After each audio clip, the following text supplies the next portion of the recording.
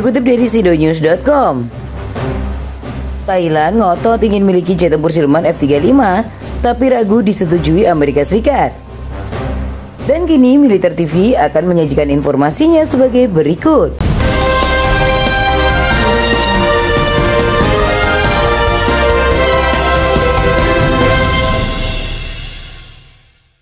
Militer Thailand ngotot ingin segera menjadi pelanggan berikutnya dari jet tempur siluman F-35 Lockheed Martin Amerika Serikat, meski ditentang partai oposisi. Meski memiliki tekad kuat, mereka ragu Kongres Amerika Serikat akan menyetujui pembelian tersebut.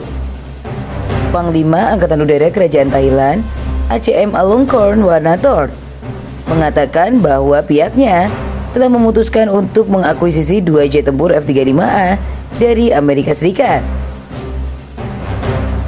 Menurutnya negaranya saat ini sedang menunggu keputusan dari Kongres Amerika Serikat apakah menyetujui penjualan jet tempur canggih tersebut.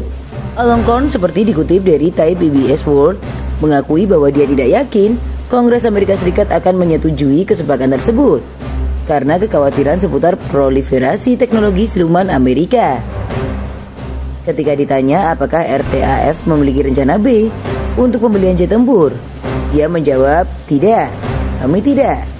Namun jika ada tanda-tanda tentang bagaimana keputusan Amerika Serikat tentang penjualan F-35 akan berubah, maka kami akan menilai apa yang harus dilakukan selanjutnya.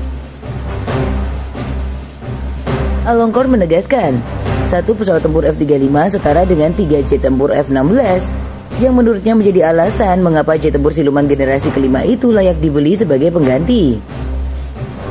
Selain itu, dia menyatakan bahwa RTAF berencana untuk membeli beberapa jenis pesawat lain pada tahun fiskal 2023. Antara lain pesawat pengintai DA-42 yang dilengkapi dengan kamera khusus yang dapat digunakan untuk mengatasi masalah banjir.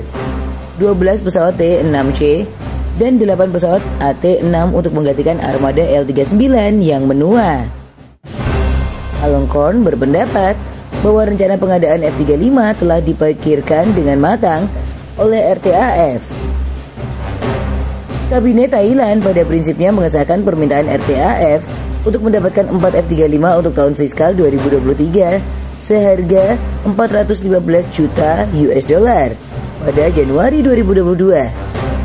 RTAF sekarang berbicara tentang mengakuisisi dua jet tempur F-35. Thailand ingin membeli F-35 varian A untuk lepas landas dan mendarat konvensional.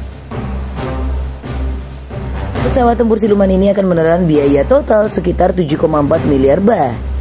Dan pembayaran diharapkan dilakukan secara mencicil selama 4 tahun. Partai oposisi dan rakyat Thailand pada umumnya percaya bahwa ini adalah pengeluaran yang boros, mengingat negara itu menderita masalah sosial ekonomi. Namun RTAF tetap teguh dalam keputusannya karena melihat lingkungan pertempuran berorientasi masa depan dengan pendekatan kualitas di atas kuantitas.